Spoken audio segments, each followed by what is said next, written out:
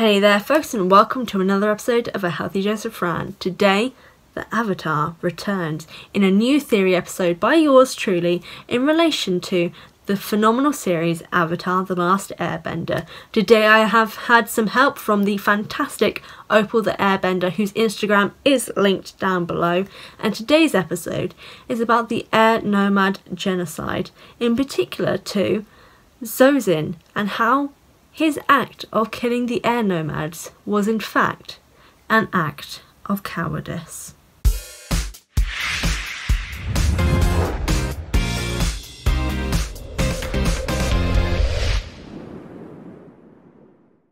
Now, what we do know about the Air Nomad genocide is firstly that it was headed up by Sozin himself, who wanted to use the power of a comet that was due to arrive to superpower his army and destroy the Air Nomad nation, and that, other than Aang, there were no Airbender survivors. Or were there? But that's for another video. But other than those two facts and that the attack happened when Aang was 12, we don't actually know that much in relation to the Air Nomad genocide. That's where my theories come in. Now, because we don't know that much about the genocide in general, it was quite easy to come up with theories in relation to it. However, when I started doing this, I realised that I actually wanted to make my theories fit and make sense in the universe and in the story as we know it. So it wasn't too fanon like, but was actually plausible for the world that is it was to fit in. So that meant I had to look a lot deeper. And it turned out to be that there was a lot of evidence to support that Sozin was actually a coward. And here are my reasons why. The first one being that he attacked the Air Nomad nation, one of the most peaceful nations in the world. A completely pacifist society who did not want to do harm to someone or anyone or anything in the world. So he decided to attack them because they were an easy target. They had no army, they had no reason to suspect anything. There wasn't much to show that the Fire Nation were planning such an attack.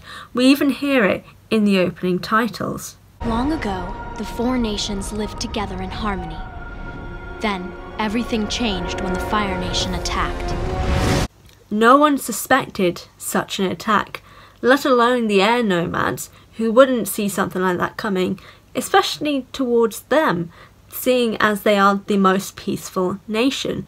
Towards the Earth Kingdom, that I could even more understand because they are one of the biggest nations in the world. They have the strongest army, they have the strongest defences.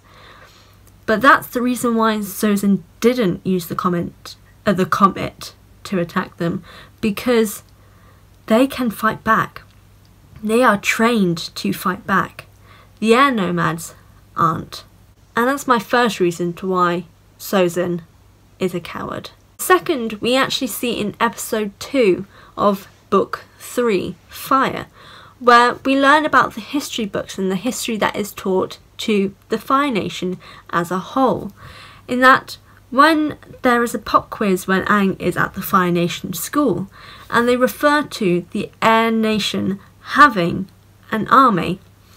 And Aang speaking up and saying they didn't have an army. Fire Lord Sozin defeated them by ambush, which is true.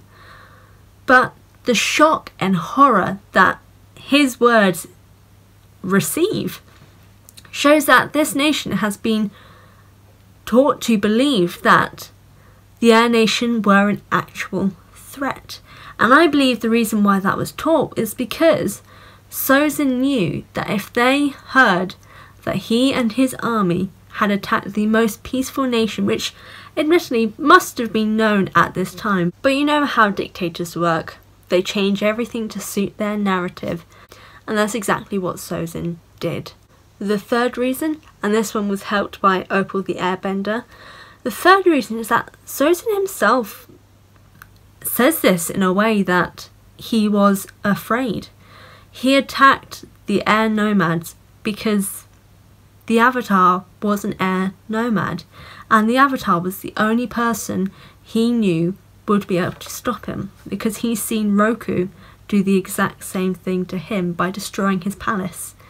And in the episode, Book 3, Episode 6, The Avatar and the Fire Lord, he knows that they have to find a way to destroy the air nomads so they can destroy the Fire Nation's only threat, the Avatar. So he killed men, women, and children, all innocents, out of fear and cowardice at the, th- at the thought that this Avatar could stop all his plans like Roku did. I've seen the colonies, Sozin. How dare you occupy Earth Kingdom territory? And the final reason isn't even a reason, really, because out of everything that he's done, out of all the things that I've just talked about, him attacking a pacifist nation with no army, who were an easy target whilst using the superpower of a comet to destroy them, doing so out of fear for the power of the Avatar, and killing innocent people, and then changing your own history to make it seem like what they did was justified. How can any of that be done by a strong and secure and uncowardly man? The reason is because it wouldn't be. Sozin, Fire Lord Sozin, was and is a coward. But what do you guys think? Do you agree with me that Fire Lord Sozin was in fact a coward when attacking the Air Nation? Or do you think he had other motives for killing the air nomads? Let me know in the comment section down below.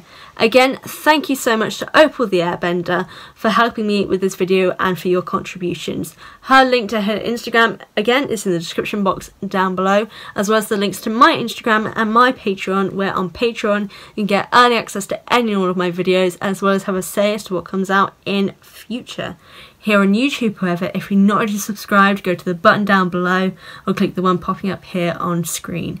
If you want to check out any of my previous theory episodes, the playlist will be popping up here. And then my previous avatar video will be popping up here. But again guys, thank you so much for watching and I'll see you guys next time.